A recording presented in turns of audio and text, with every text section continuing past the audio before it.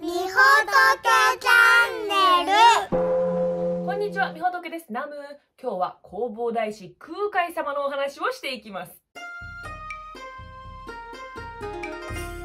はい、ということで今年は弘法大師様が生まれて1250周年ということで、弘法大師様にまつわる動画を3本立てでお届けします。1つ目は弘法大師とは一体どんな人物なのか。2つ目、弘法大師ゆかりのお寺。3つ目、弘法大師が残している伝説、トリビアについてお話しします。この動画では弘法大師様、一体どんな人物なのかご紹介していきます。はい、弘法大師といえば、まあ、弘法も筆の誤りなんかね、ことわざなどで一度は名前皆さん聞いたことあると思います。また歴史の授業とかで真言宗を開いた人とか、高野山金剛無事を作った人みたいに勉強しますよね。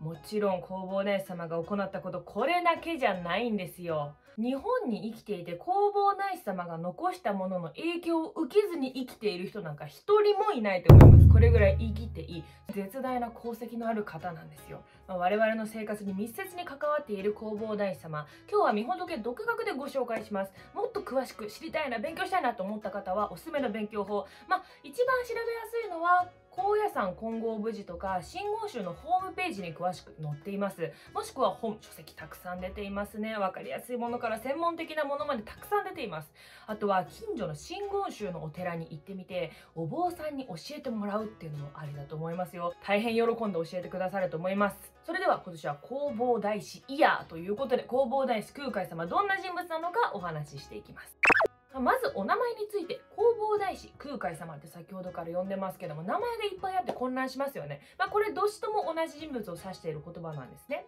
まず空海という名前。これお坊さんとしてのお名前です。続いて弘法大師。こちらの方は大師号といって天皇からいただく称号なんですね。大志号っていうのは天皇様から功績のあったお坊さんに対して送り名という形で付けられるんですよ。なので例えば伝行大師最澄さんとか自衛大師良玄様みたいな大師という称号を頂いてるお坊さんたくさんいらっしゃるんですよ。その中で空海様は弘法大師という大志号を頂いてるんですね。で我々はいつもこうお大師様って呼んだり弘法大師様って呼ぶこともあれば空海様って呼ぶこともある、まあ、どちらにせよ同じ人物を指しているので間違いではないのでね混乱しないようにしてください。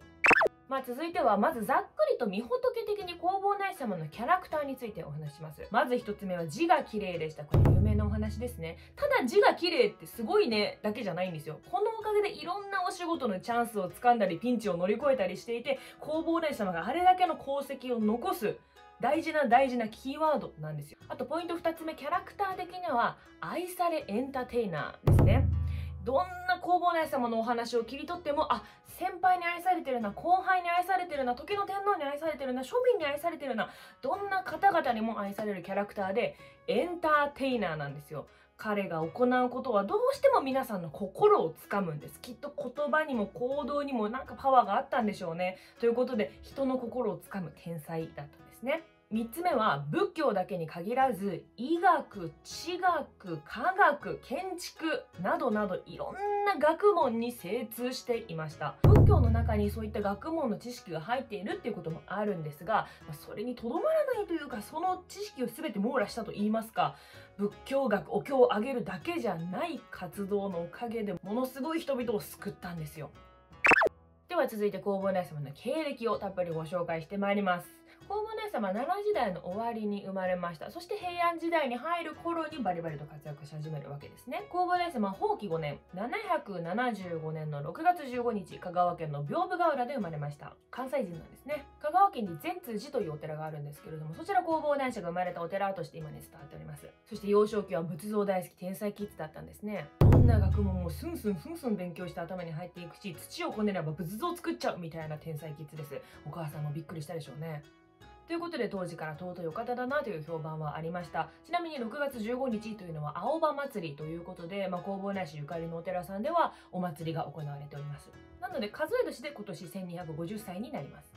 そして工房内し7歳の時に天才的なイベントが起こります。それは写真請願と言います。大変優秀だった工房内様、ちょっとやんちゃだったわけですよね。いろんな野山を駆け巡ってお勉強していたわけなんですけれども、ある日、崖に立ちまして、僕はこれからもっと人々の命を助けたい。仏法をもっと勉強したい。僕に人々を助ける救う力があるんだとしたらどうか私の命を流れさせてください。と言って崖の上から飛び降りるんですよ。でああもう落ちるっていう時に天女が現れてうわっとすくい上げるんです。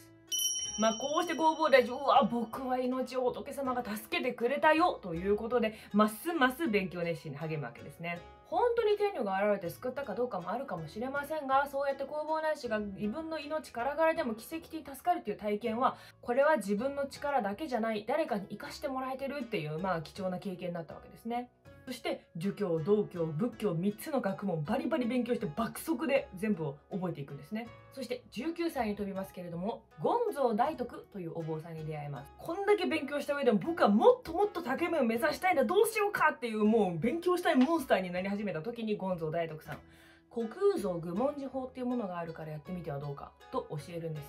この虚空蔵愚問寺法難しい漢字書きますよね。虚空蔵というのは虚空蔵菩薩という仏様のことです。この虚空蔵菩薩という仏様をインドの古い古い言葉のまま名前を読み上げる。これ真言を唱えるっていうんですけれども虚空蔵菩薩の真言を100万回100万遍唱えるとあらゆる経典を理解して暗記することができるっていう素晴らしい修行なんです。空海をよしやってみようということになって高知県の室戸岬というところで始めます。暗い洞窟に入っていって100万遍虚空蔵菩薩の信言を唱えるんです。これね言ってるだけは簡単なんですけど超厳しいんですよ。まあ休憩がまずないですよね。そして飲むもの食べるものっていうのを極限まで遮断するのでもう命ギリギリのところで行うんですよ。そして誰にも邪魔をされないように虚空蔵菩薩様と自分と一対一になれる空間を探しまあそれが室戸岬の洞窟だったんですけれどもそこで弘法内様100万遍命からがら唱え終わりました。すると明けの明星が口の中にバーッと入ってくるという体験をするんです。そしてそのまま洞窟を出ると目の前に広がっていたのは空と海。この2つだけです。なんという世界なんだっていう世界が見違えて見えたわけですね。その室戸岬の洞窟から出てきて空と海が広がっている。これが空海というお坊さんの名前の由来なんです。それまで魔王という幼い頃の名前を使っていたんですけれどもそこから空海というお坊さんの名前をして、えー修行に励むようになるんですね。こういうお話をするとちょっと神秘的な体験すぎてちょっとびっくりする方もいると思うんですけども虚空蔵菩薩の信号を100万回唱えるって洞窟の中でねすごい反響がある中で同じ作業をずっと繰り返して耳の中に反響でワンワンワンワン音がずっと入ってくる。すると、まあ、脳のある部分が刺激されて活性化するんですって。脳を最大限活用するためのトレーニングだと思ってもらえたらいいかもしれないですね。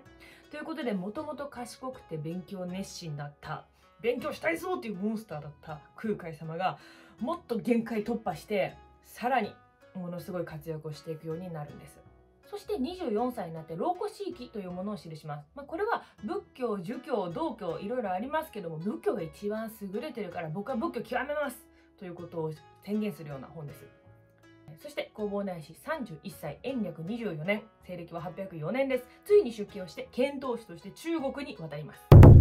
ちなみにこの804年というのはちょうど泣くようぐいす平安京で平安京が始まる政治的にも一波あった時代です。そして天台宗の比叡山延暦寺を開いた最澄さんも同時期に生きていました。そして同じ時期に遣唐使として中国に行ってるんです。この弘法大師空海様と伝行大師最澄様の2人の関係っていうものねとても深くてこれもいいものなんですよ。そして中国行きたいよ行きたいよでやっとの思いで出国をできますでも中国の港に着いたところでそこから先になかなか進めなかったんですよ。でも中国の人が奥まで通してくれなくてそこで空海様の字が綺麗ということが役に立つんですね。それまで別の方がお手紙を書いてお願いしますって書いていたんですけれども弘法大師様が代わりに筆を取ってお願いしますという文章を送ったところなんと気持ちの伝わるいい字を書く綺麗な字の人なんだということで無事に港から国の中まで入れて長安という町に到着します。その長安という町で弘法大師ついに当時の真言密教のトップに君臨する慶華大アジャリというお坊さんに出会うんです。そこで経過大アジャリに会ってすぐ空海はこう言われるんです。僕は君を待って。僕の次に密教の全てを継いでくれるのは君だよといきなり言われるんです。なんじゃそりゃあですよねこれだけの勉強をしてきて天才的な素養もあるというところを経過大アジャリは一気に見抜くわけですね。そして爆速で密教の全てを伝授するんです。これ経過和尚がちょっともう先が短いということを自分で分かってたんでしょうね。もうすぐにはいはいこっちこっちはいこれで伝授します。伝授します伝授します。すぐに全ての儀式が始まるんですね。そこで空海も向こうの経典をぐわーって一気にもう大事業いろんな人で写経をして宝具っていうんですけどその密教で使う仏教の道具を一気にわーっと作らせてもう1年にも満たない間で全部を受け継ぐんです。そして空海さんは真言密教の第8祖となるんですね。一気に進みましたけれどもここで真言密教という言葉が出てきました。これはインドで始まった仏教がいろんな形で発展をしていく中で出来上がった密教というもの。この密教はインドで始まってそのトップに君臨する人が1,2,3,4,5,6っていて経過大アジャリ7代目のトップだったんですね。真言密教の奥義を全て心得ている人です。そこでその全てが次に受け継いだのが空海なので真言密教8番目のトップ。真言密教第8祖になったわけなんです真言密教というのは仏教の中で最先端のものでして心と口と体この全てを整えることで仏様と一体となるというものです。口では真言仏様の古いインドの言葉ですね。それ口では真言を唱えて体は仏様のポーズと同じようにして心も仏様と同じようになって仏に自分自身が一緒になっていく。これちょっと難しいですけれどもね。勉強ももちろんだし体の実践で仏様と一体となっていこうということなんです。これはインドで始まった仏教の最新にして最終形態と言ってもいいようなものすごい神秘的でありがたい教えなんですよそして真言密教の奥義を伝授された空海様は経過和尚から返上金剛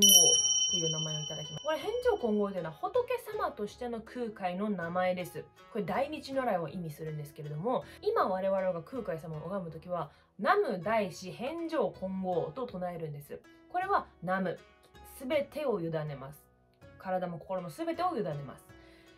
大師、弘法大師様の大師ですね。で、返上金剛。これは仏様としての空海さんの名前です。南無大師返上金剛、南無大師返上金剛。これを我々未だに唱えるんですよ。これ唱えることによって弘法大師様のご利益をいただこうということです。この返上金剛という名前をその時に経過和尚からいただいたんですね。この全てを空海様が受け継ぎました。で、じゃあ僕はこの真言密教をさらにさらに日本でも広めていきますせ。ということで日本に帰ってくるんですね。ここで空海様ありがたい教えにあって全部吸収してよしこれから日本でこれもっと広めていきますよおしょそこで中国から密教法具の一つの参考書というものを僕は日本でこの真言密教を広めるための聖地を見つけたいです。どうか教えてくれ。ということで中国からその参考書ポーンと投げるんですよ。これ後ほど登場しますのでね。まあ、ということで、もう1年に満たない間、爆速で全てを伝授された空海は日本に帰ってきます。あまりに帰りが早かったので、その当時の天皇はちょっと帰ってくるの早すぎ、信じられないということで怒られちゃって、あの、福岡からこう京都まで、都まで入ってくるのを禁止されてたんですね。それぐらい周りもびっくりするぐらい早かったんですよ。で、まあしばらくして無事に京都戻れて。はい、ということで空海様が中国に渡って経過和尚から真言密教の全てを受け継いで真言大発想になったこれ最重要ポイントですのでね、覚えておいてください。そして弘法大師空海様37歳、立教改宗ということで、真時の天皇から、はい、真言宗という宗派開いていいですよということを認めてもらったんです。はい、ということで、この時に真言宗という宗派としてスタートしました。はい、でもまだまだ修行は続いております。幼い頃に自分が修行した四国をもう一度巡り歩いて教えを広めながら初心に帰りましょうということで四国をぐるっと一周歩き回るんですね。これが四国88カ所霊場、お遍路さんの始まりです。はい。お遍路さんを今我々が歩くということは、弘法大師当時の修行と布教の道を一緒に追体験しているということになるんですね。ありがたいですね。はい。そして空海様43歳、公認7年、816年に高野山が開かれます。高野山金剛無事で有名ですね。ただね、いわゆる高野山っていうあの山1個っていうことでもないんですね。富士山みたいな感じで高野マウンテンがあるわけじゃなく、真言密教の聖地として、はい、この辺り全部っていうエリアが高野山。この霊地全部が高野山ですよっていうことです。はい。で、ここの場所、弘法大師はね、まあ、和歌山にあるわけなんですけれどもうん真言密教を広める聖地どっかないかなっていうことで歩いていたところであるおじいさんが2匹の犬を連れていてそこに出会うんですね。で白と黒のワンちゃんおじいさんいるな。なんかおじいさんとってもありがたい感じがするな。そのワンちゃん2匹とそのおじいさんが「はいこっちこっちだ」ってこうふわーっとね自分を導いてくれたんですよ。何かなって言ってついていった地にはなんと中国から投げた参考書が引っかかっている木があったんですね。あーここだここだなって高野山としてそのエリアを弘法大師空海様密教真言密教を広める聖地としてバーンと作り始めたんです。この導いてくれたおじい様狩場明神という神様だったんですよね。実は、まあ、この高野山を開くにあたる物語もかなり深いことがあるのでぜひ皆さんここはねみんな書籍などで調べてほしいですね。で、まあ、この土地を真言密教の聖地にしていいですよという許しも天皇様からもらって一大事業わーっと工事が始まるんです。はいその工事一大事業と同時並行で黄門の様は真言密教を広めることいろんな事業を成し遂げます。まず48歳万能池という香川県の灌漑用の人工の池ですね。こちらが何回作り直してもどんだけでも何遍も壊れちゃうっていうちょっと大変な場所だったんですけれどもそこを弘法大師様が建築の技術を使ってちゃんと作り直して未だに壊れずに残っています。そして50歳当時というお寺を託されます。これは官立のお寺で天皇様方が国民のために祈る寺だったんですけどもはいそれを弘法大師空海様自分でちょっと任せますわって預かるわけですね。これつまり真言密教の教えをこう天皇様が認めて頼りにしたっていうことなんですよ。これとってもインパクト大きいですね。当時は未だに京都にありますからね。まあそこに立体曼荼羅っていう曼荼羅の世界を仏像でバーンと作っていろんな人の目に見えるように仏の世界はこんなものだっていうものを教えてくれたんです。エンタメ性ありますよね。そして新鮮園という場所で雨乞いにも大成功します。55歳手芸手地院を作ります。今までこう天皇様のために祈るとかありますけどもこれはですね一般庶民の方々のためにお勉強をする施設です。それまで学問というものはやっぱり上流階級の方々のためのものだったんですけどもどんな人々にも勉強大事だよねということで日本初平安初期にできた私立の学校です。ここで庶民の皆様にも開かれた勉強の場っていうものを設けますね。これ今ある種チーン大学の元とも言われております。そしてそのどんな人にも分かりやすく言葉を教えるためにいろは歌をその時弘法大師が作ったとも言われてますね。いろは歌のまあ起源には、ね、諸説あるんですけどそのうちの一つ手芸七院で一般の方々のために弘法大師が作ったと言われてるんですね。そして62歳五七日未死法行います。難しい字ですね。未死法ですよ。これ五七日っていうのは正月の8日から7日間です。その7日間をかけて、密司法、これは密教の手法といって、まあ、ご祈祷する大きな法要ですね。はい。なので、正月8日から7日間かけて行う大きな大きな法要。ここで天皇の健康、そして一般の国民皆様の一人一人の平和を祈るっていう大きな大きな祈りの法要を始めます。この五七日密法は当時始めてから未だに毎年続いております。尊いうことですよね。そして空海様62歳。高野山奥の院にて入場するんです。これ入るに定めるで入場というんです。この入場というものが大きなポイントの2つ目ですね。なくなってないんですよ。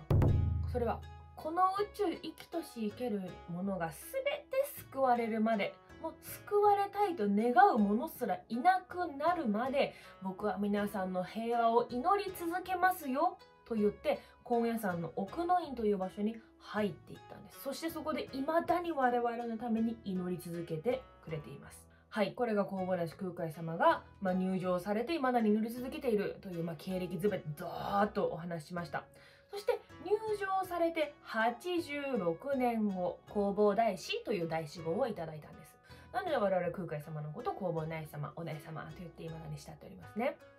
もうずーっと経歴長々とお話してきましたがこれだけのことをなさった方なんですね。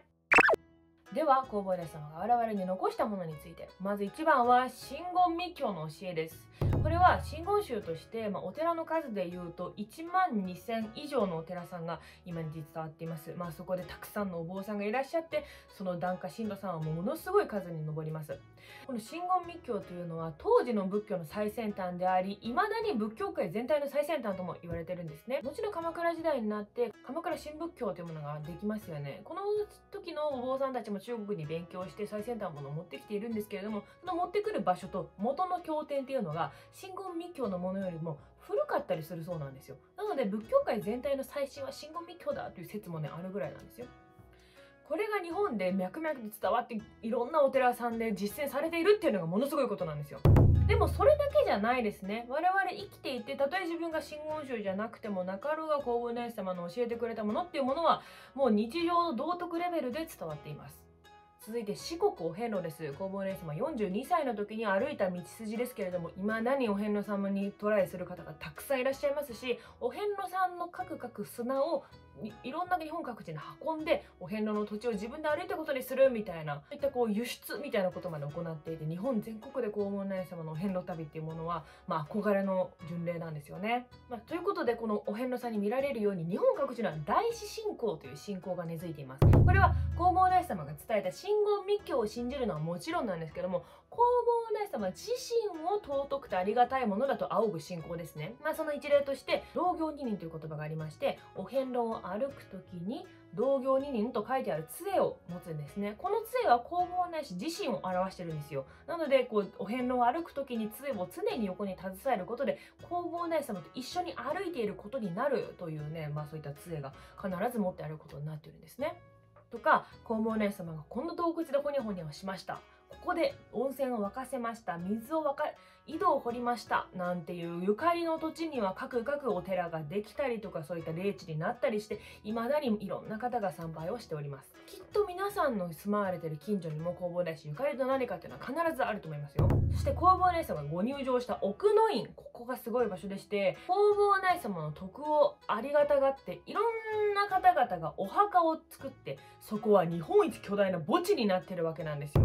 そこにはなんと武田信玄上杉謙信織田信長豊臣秀吉徳川家康なんかいろんな戦国武将のお墓が建っていてね敵同士だったんですよ。あとはいろんな企業がねいろんな皆さんうちの会社の社員の皆さんを供養しますということで企業墓があったりとかぶっちゃくちゃ長い道をもう左右ずっと墓地が広がってるみたいな場所が奥の院にありますね。それはなぜかというと弘法大師様の徳があまりに高いので終始宗派問わずそして敵味方問わずどんな方も頼りにしちゃうってことなんですよあんなことを成し遂げてくれた弘法大師様そして我々のためにずっと祈ってくれてるんだからそこに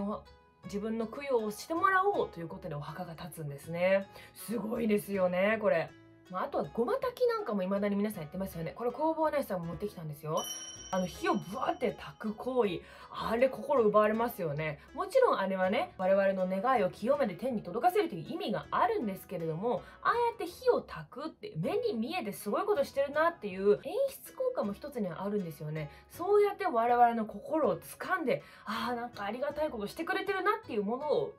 体感させてくださっていたっていうもの一つありがたいことですね。ね、お正月になってね、ごま法要にお願いする方々いらっしゃるじゃないですか。あれも小林さんを持ってきたんですよ。まあ、このように中国の最先端の技術を日本に持ってきてるんですよ。建築の技術もそうです。医学の知識もそうです。ということで、ものすごい勉強して能力が高くて、中国に渡って密教の教えの最先端を全て授かって、天皇から庶民一人一人に至るところまで全ての人々のために教えを広げて祈ってくれている方、これが弘法大師様なんです。まだに我々に影響を与え続けてくれています。はいという形で弘法大師空海様どんな人物かをずらーっと話してきました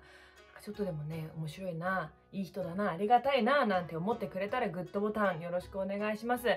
まだまだ弘法大師様のゆかりのお寺のこととかトリビア伝説なんか喋っていきますので気になった方はチャンネル登録などもよろしくお願いしますはい